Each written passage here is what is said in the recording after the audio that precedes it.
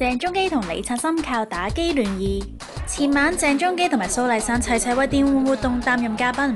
鄭中基表示，而家通常都係玩賽車遊戲，覺得係一個好好嘅聯誼方法，因為可以同啲好難見到面嘅朋友，例如森仔、李燦森連線傾偈。提到賽車遊戲，鄭中基就興奮到講唔停口，仲同大家分享咗件打機趣事添。有時真係冇辦法，即係死唔肯認輸嗰啲咧。